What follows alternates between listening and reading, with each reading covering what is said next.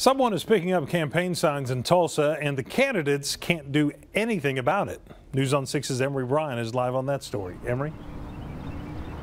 Well, Craig, this close to an election, all of Tulsa's intersections are usually filled with campaign signs like this one near Gilcrease and Edison, but this is a rare exception. Very few campaign signs out now on the right-of-way, and there's a reason.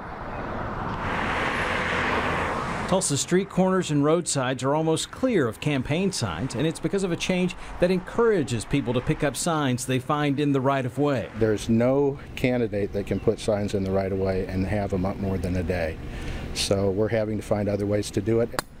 Candidate Dan Hicks is a veteran of campaigns when signs could go just about anywhere. And so it's a different rule, different set of rules, but we are following the rules and we're getting our name out. Candidates can put signs up in yards or on fences with permission, and it's forcing more door-to-door -door contact with voters. No, I can't remember that we ever let anyone put a sign up here. But once someone asked, Peggy Rocket agreed. There's been some comments.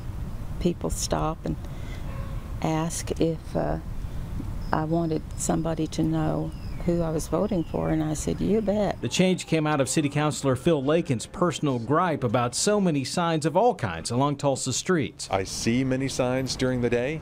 I go back to try to pick them up at night, and they're already gone. He's one of 64 volunteers trained by the city who have picked up an estimated 3,000 signs since April 1st. So I'm really grateful to have other people out there who are either certified by the city to remove the signs or just following the law, which allows them to remove the signs if they're within about 12 feet of the roadway.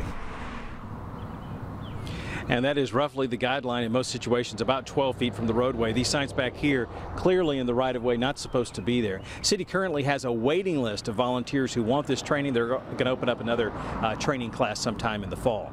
Reporting live on the scene on the story near Gilcrease and Edison, Emory Bryan, News on 6.